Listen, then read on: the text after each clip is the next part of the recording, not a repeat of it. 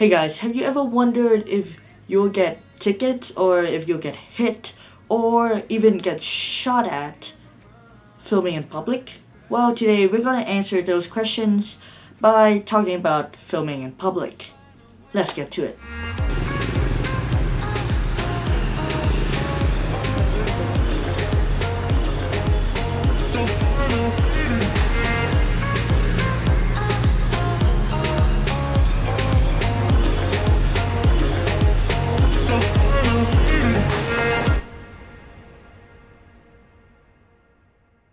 So first, where are you usually allowed to film?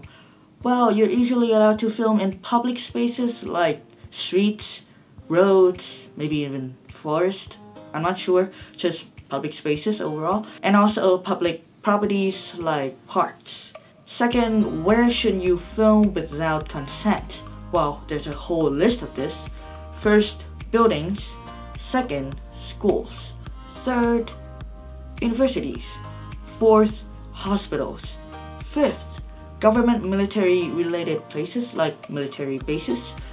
Sixth, private properties. And finally, places where there are security guards. I mean, you can totally ask to film there, but if they say no, it means no.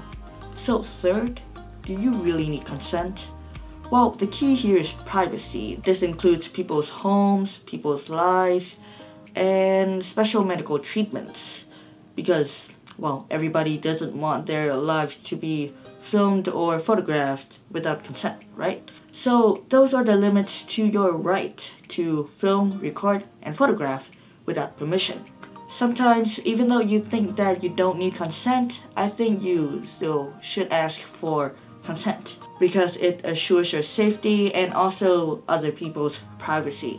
So finally, who or what should you film? It's usually fine and legal to film other people in public, like people on the streets, people on the roads, people hanging out, and overall people enjoying themselves and going outside.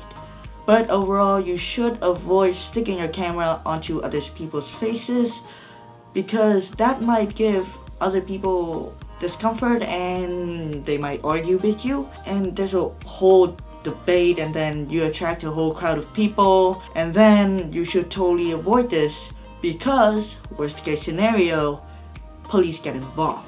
So that's it guys. Stuff about shooting and filming in public that you should know and care about. I hope this video helped you out and if it did then remember to hit the like button and also hit that subscribe button and also the bell for notification. And if it didn't, then feel free to hit the dislike button and also comment down below what I should improve in the next video. Once again, thank you guys for watching and I'll see you guys in the next video. Bye.